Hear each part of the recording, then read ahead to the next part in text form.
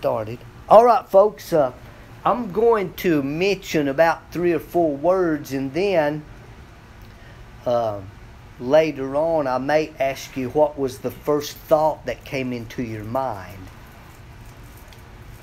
And the words are predestinated, chosen, elect, ordained. Those words.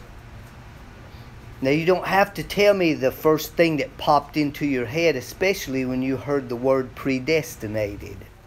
Uh, actually, I'm going to tell you what most people think when they hear that word as we stu- when we come to it. But the first thing I would like to do today, uh, by the way, the title of this today is Predestination Like You've Never Heard It Before. Uh, is the title of this study. Now, it's probably, you may have never heard a teacher teach on the subject of predestination or election or chosen or something like that. And, and it's very likely in this area that you haven't, but we'll try to do our best on it today. But first, I want to, uh, I want to go back a little bit because look what Paul says here in Ephesians chapter 1 in the very first verse, Paul, an apostle of Jesus Christ, by the will of God. Now, I quickly want to bring out three wills that we find in the Bible. And there's one verse that brings them all together John chapter 1 and verse 13, if you'll turn there with me. We find all three wills in the Bible here in this one verse. Wow, that's amazing, ain't it? There is the uh, there is the will of the flesh there is the will of man and there's the will of god. Now in this verse we're talking about being born again. And this verse eliminates the will of man and the will of the flesh and it says we're born again only by the will of god. Let's read the verse which were born not of blood, nor of the will of the flesh, nor of the will of man, but of God. Now, if we just think about that logically, it don't make much sense because we know what happened when during our conversion experience, we know that we decided one night when we heard the gospel that we were going to be saved. We did that of our own free will. So, why does it say we were born again by the will of God, but on the night we were saved, our free will had something to do with it? So, how do we reconcile those two things?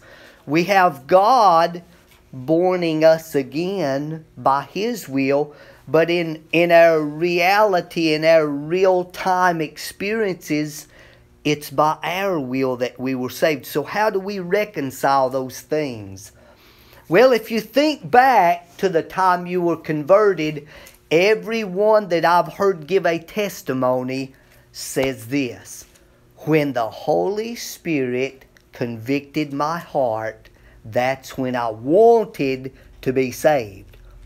Now, here's the thing our wills are, are influenced by our nature. Okay? Before we're born again, and before God sent the Holy Spirit to convict our heart, we literally had no desire to be saved.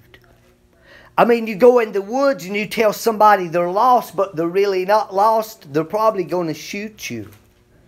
So you have to realize you're lost before you will even have the desire to be saved. And that comes into play when the Holy Spirit comes to the heart and convicts a soul.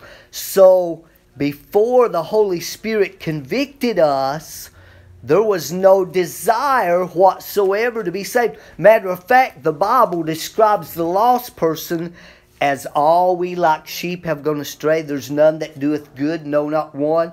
The Bible speaks of us not having any ability to come to the Lord.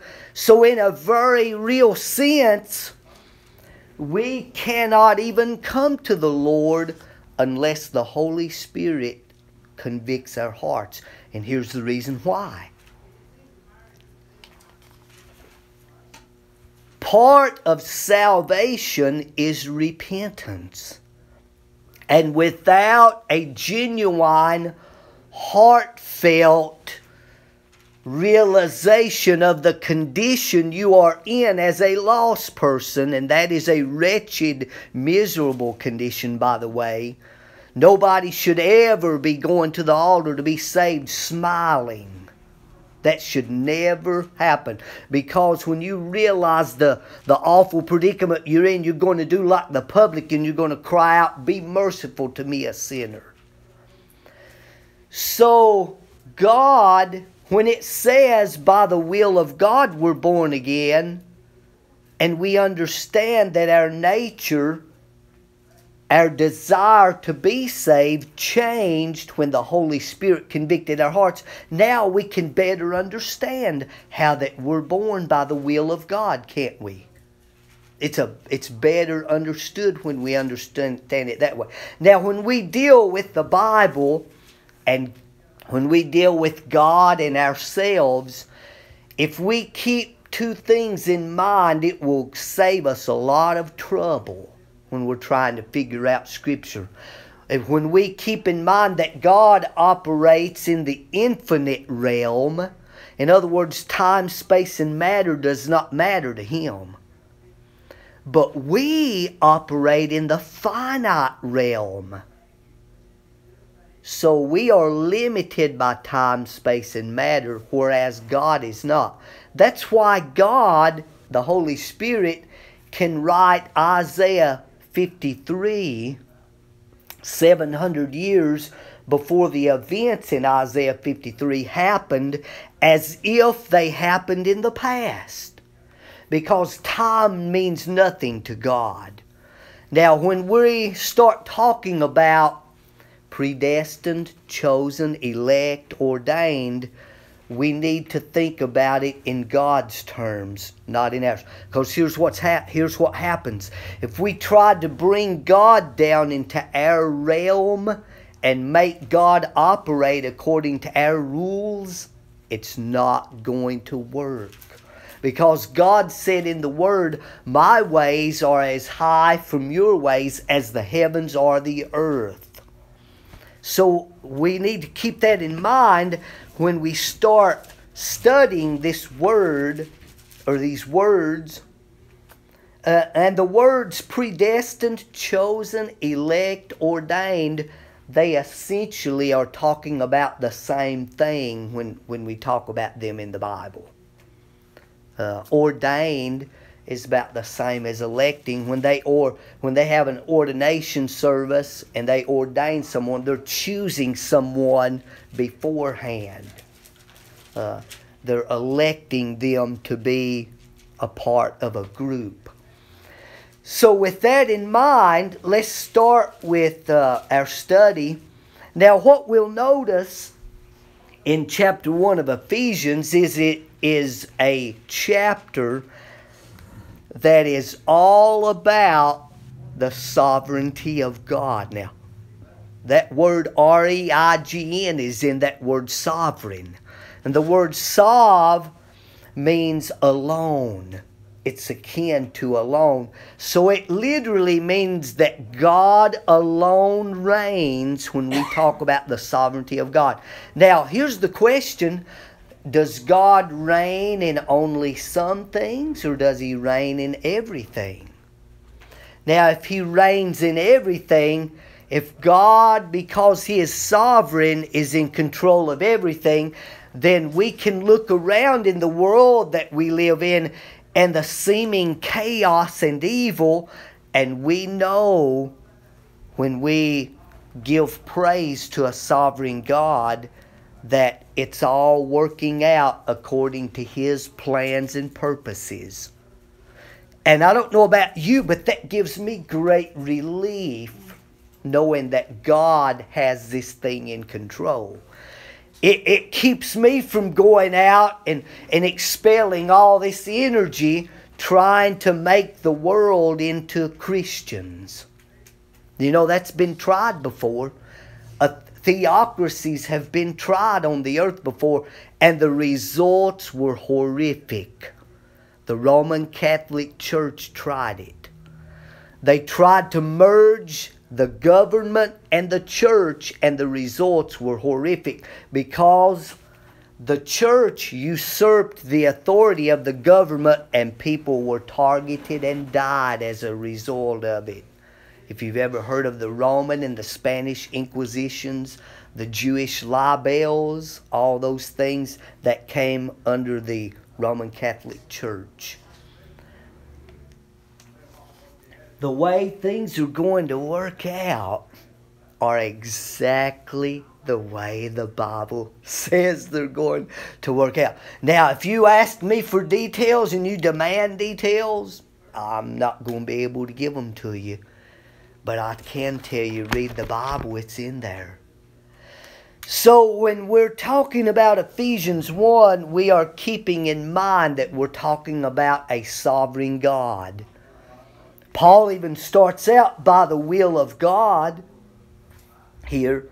Now, let's go down to uh, verse 4, and we're going to have, have our first word that we're going to talk about in depth today according as he hath chosen us in him before the foundation of the world. Now, you don't have to tell me, but I can promise you the majority of people that teach and preach the Bible, when they see this phrase, they immediately think about one word, and that one word is Calvinism.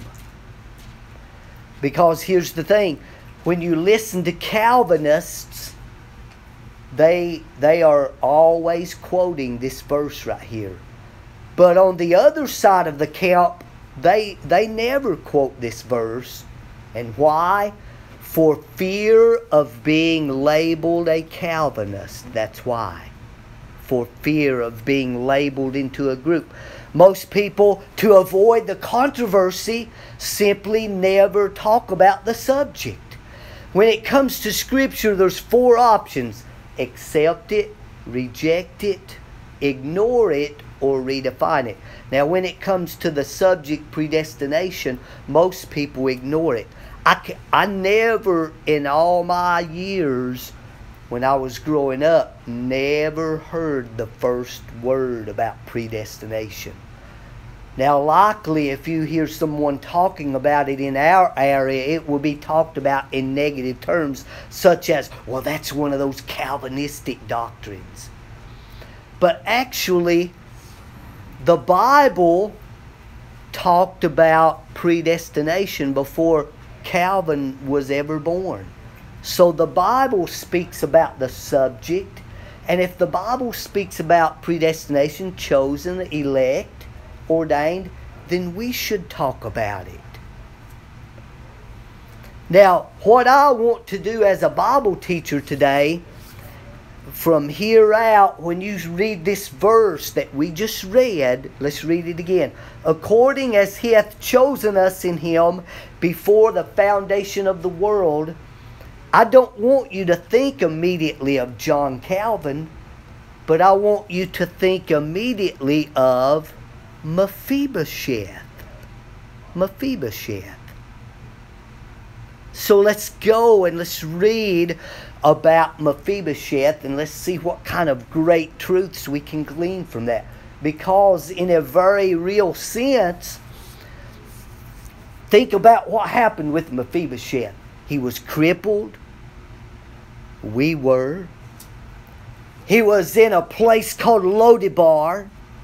And that means literally nothingville. Nothingville. How many of you all are from a place that could be called Nothingville? Every one of us. You know why? We live in flyover country. Every last one of us. So the world, when they think about you and I, they just sneer and they move on with their lives. We're in flyover country. Literally, by the way, has anybody seen those big planes that have been practicing their maneuvers about cutting the tops of trees off? And you'll be driving up the road, and all of a sudden, there's this big, huge, like C 10 coming over the trees, about cutting the trees off, and you're thinking, are they about to crash? no, they're practicing in flyover country is what they're doing. So, to, to the majority of the world today, you and I are live in Nothingville, okay? So Mephibosheth came from Nothingville, but we'll get into that more as we read about him. Let's turn to 2 Samuel chapter 9 and let's read about him. Mephibosheth. Y'all probably find it before I do. It's before Kings. Got 1 Samuel, 2 Samuel, then 1 Kings. 2 Samuel chapter 9. now, the very first verse, David asks a question. Now, keep in mind, he does not even know at this point if there's anyone left of the house of Jonathan. So he asks, Is there yet any that is left in the house of Saul, of the house of Saul, that I may show him kindness for Jonathan's sake?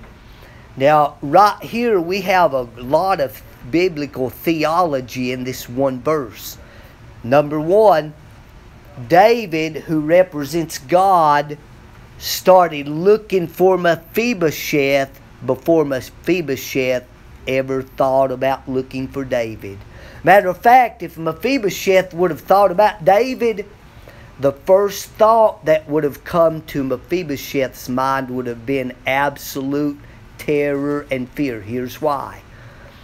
It was common practice when one king left and another king took over, that they would kill all the potential heirs of that king's family. So the reason Mephibosheth was living in Lodebar is probably because he would be left alone there. Left alone. And you know what? What is the most of the world? If they could tell God something, you know what they would tell him? Leave me alone. But you know what? God does not leave his chosen alone. He didn't leave Paul alone. Paul was literally wanting to kill every Christian he could find and get rid of this Jesus thing once and for all. But you know what? when Paul was antagonistic against the church in Christ, God was seeking him out. And God intercepted him on the road to Damascus. I like to think about salvation in those terms. God intercepting a man who is head set on going to hell, and God changes their mind and they get saved and they live from that moment on till the day they die for the Lord. What a description of salvation that is. I, I refer to it as another way spiritually body slammed that God did Paul. He literally bit, hit the ground when, when he came under that conviction. So, number one, so let's read on. And then in verse 2 and 3 and, and verse 4, they tell him of Mephibosheth. And they tell him that the condition of Mephibosheth is in. He was crippled. Now, can you imagine some of David's captains saying, Well, you don't need this old crippled fella. Look at us. We're, we're all mighty men, and you want to bring this crippled fellow in, and we're going to have to spend our time taking care of him from now on. Well, David, we're supposed to be out fighting for you and, and doing all these things, and now we're going to have to spend our time taking care of a cripple boy. And you know what David said? Would have said at that point, Yes, that's exactly what I expect you to do because I've chosen him to come and be with me, and he will be taken care of. So the story is that, look, verse 5 Then King David sent and fetched him out of the house of Machir, the son of Ammiel, from Lodebar. That means nothingville. From nothing. So Mephibosheth, in a very real sense, went from nothing to everything. Why? Not because of Mephibosheth, but because David, who represents God, chose Mephibosheth to be with him, not because of Mephibosheth or anything he did, but because of Jonathan. So, Jonathan in this story is the picture of Christ. David said, For Jonathan's sake. Now, when we go to Ephesians chapter 1, we're going to read that everything we did get is because of Christ. All those heavenly blessings, spiritual blessings in heavenly places, is because of Christ. So the story comes, he comes in. Now look what Mephibosheth said.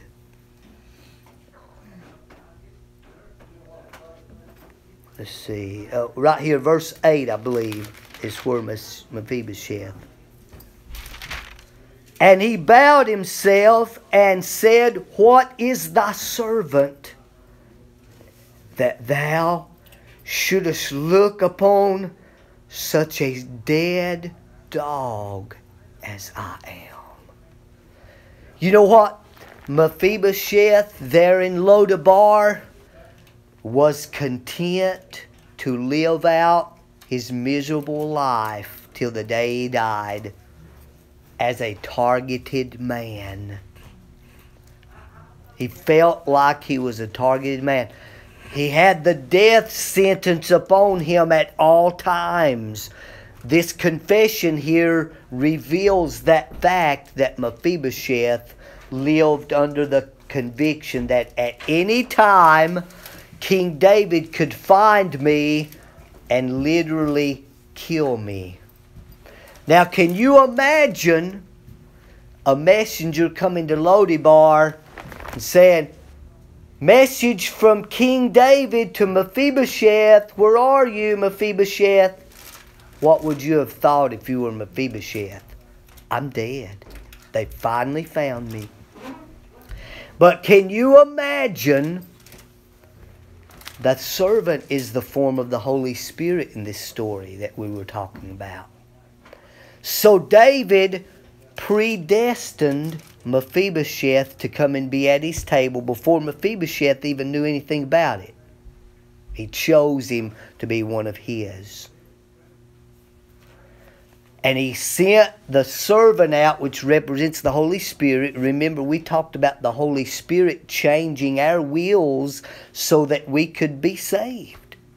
Without the Holy Spirit intervening in a lost person's life, it's impossible to be saved. We can try to do it without repentance, but the results of that are horrific. The evangelical crusades, the statistics coming from that show that over 75% really did not get saved. We tried to do it without the repentance and without the Holy Spirit. So he comes there and he says, I'm a dead dog. Why did you even bring me here? call himself uh, lower than anything called Yeah. in the Hebrew time. Yes. A dog was a, a disgrace. Yeah. And you know what? when we come to the point that we're under conviction, we will realize just how awful we We're are. yeah. We are, yes, that's right.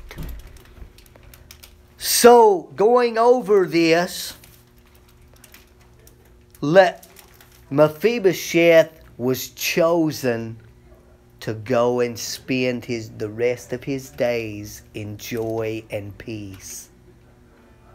Because David chose him on because of Jonathan's sake, for Jonathan's sake. And you know what? If we have the idea that God chose us because we did something wonderful sometime, we did choose God of our own free will when we were saved. But if we get lifted up in pride and say, oh, because I went and was baptized and because I got saved in this church under this preacher, if we get lifted up in pride, we would do well to remember that we got saved because the Holy Spirit convicted our hearts. That's how we got saved. Why we did. So David chose, ordained, predestined Mephibosheth to be his own before knowing anything about Mephibosheth. Think about that. And certainly Mephibosheth did not know anything about David and did not want any relationship with David because his relationship to David before the servant came in a very real sense was only of facing the death penalty. That's the only thing Mephibosheth could look forward to in relation to King David. And you know what? A lost person, until the Holy Spirit convicts their heart, they are living their lives under a constant death sentence penalty. A lost person don't think about this. If they did they would this house would be full.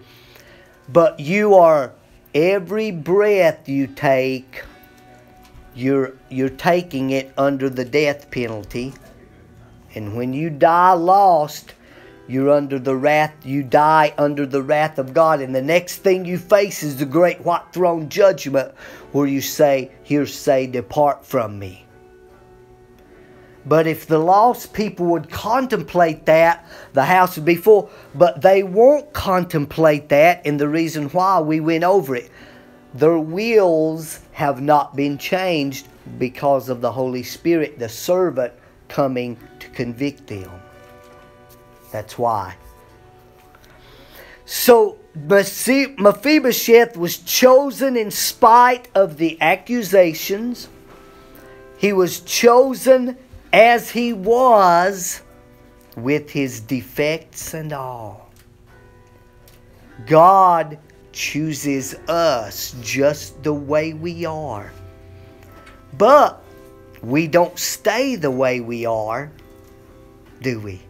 Mephibosheth didn't stay the way he was ragged clothes, starved half to death, scared to death all the time. No, no, no. His entire surroundings changed. Even though he was the same physically and basically, his entire outlook changed. And not only for a day, but it changed forever. See, when we get saved, we get the whole package at one time. Matter of fact, the, the moment David said, Is there any of the house of Jonathan that I can rescue? At that moment, Mephibosheth's destiny was sealed already. He was destined to come back and be with the with the, with David for the rest of his life. So now, when we think about being chosen of God, and we think about it in the terms of Mephibosheth, instead of it bringing great distress to us, it brings a feeling of great blessing, don't it? When we think about that. So he was chosen out of nothing into everything. He was chosen to restoration and continual promised fellowship with David. Wow. once you're chosen, you're chosen for good. It was that way with David, and it was that way with Jesus and his disciples. In, in, uh, in John chapter 13, the Bible says, having loved his own, he loved them to the end. Now, if you read about what the disciples did, they all forsook him and fled. That verse will be a great blessing to you. So, in spite of what they did, he kept loving them. They were Mephibosheth was chosen in spite of being a problem. He was lame. Now, I'm going to finish up real quick. Now, the last part of this verse says, verse 4 According as he hath chosen us in him before the foundation of the world, but it don't stop there. God don't just choose us and say, Oh, I'm going to set you on a shelf and look at you and see how pretty you are all through your life. No, God chooses us, and it says here that we should be holy and without blame before Him in love. So when you're chosen of God, you're chosen to work for Him, to be holy for Him, to be without blame, to be light in a dark world. Next week, we will continue the study and we'll be talking about more about being predestinated. Predestinated. I don't know if you've heard that term or heard anybody talk about it before, but we're going to hear why because the Bible talks about it. So we'll probably do a second part next Sunday.